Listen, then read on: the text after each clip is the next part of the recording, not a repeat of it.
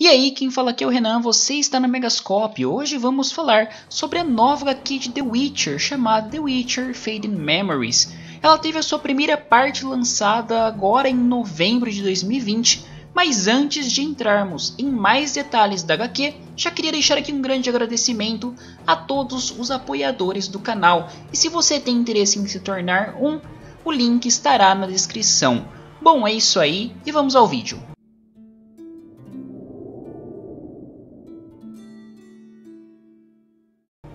Antes de irmos para o resumo do primeiro capítulo de Fading Memories, só gostaria de lembrar que aqui no Mega nós já temos um guia de leitura de todas as HQs de The Witcher.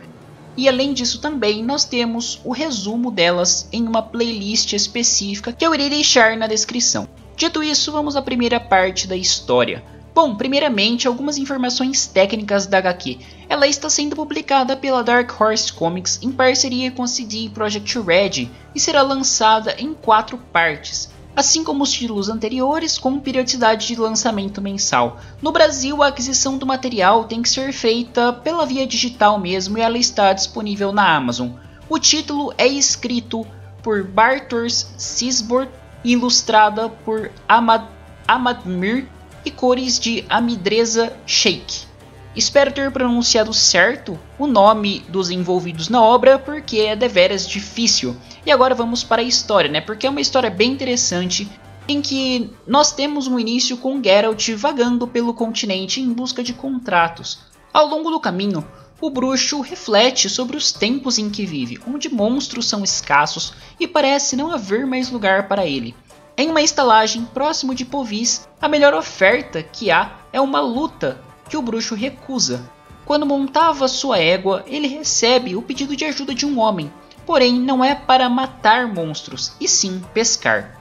O homem em questão conta sua história e mostra sua mão sem dedos, o que o impede de exercer sua antiga profissão. Após a ajuda, Geralt recebe a proposta de trabalhar como pescador, porém, um contrato em Bryndane aparece e ele vai, prometendo voltar ao final para ajudar o pescador novamente. A caçada envolve eliminar um grupo bem estranhos de nebulosos, mas nada muito complicado.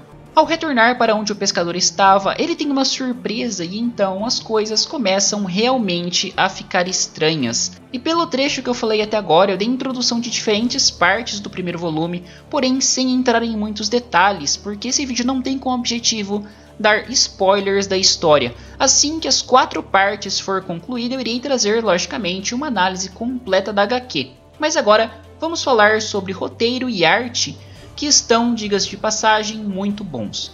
Primeiramente, é interessante destacar que a história retoma características de Filhos da Raposa e A Casa de Vidro em relação a um roteiro mais sombrio e uma estética com cores mais escuras e um traço mais sujo. Todas essas características combinam muito bem com a história narrada e também com o universo de The Witcher, e para fecharmos os comentários sobre The Witcher Fading Memories, ela é uma HQ que apresenta bastante potencial. Logicamente, temos que aguardar as outras três partes, mas eu falaria que ela tem um grande potencial para ficar entre as melhores já lançadas, como eu comparei anteriormente, ficando bastante próxima de A Casa de Vidro e Os Filhos da Raposa, que particularmente eu acho que melhor representa o universo de The Witcher.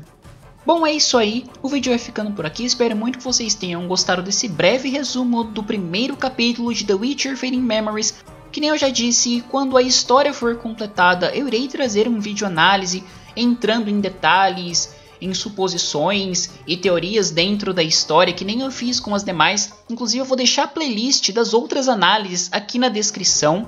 E também, caso você tenha interesse em adquirir esse material, irei deixar o link na Amazon, em que comprando por ele você também ajuda bastante o Omegascópio. Bom, é isso aí, o vídeo vai ficando por aqui, espero que tenham curtido, se inscreva no canal, ative o sininho, dê um joinha que ajuda bastante na nossa divulgação. Na descrição, links e as demais redes sociais, inclusive o link para nossa campanha no Padrim caso você deseje ser um dos nossos apoiadores. Já deixando aqui um grande abraço a todos que apoiam o Mega.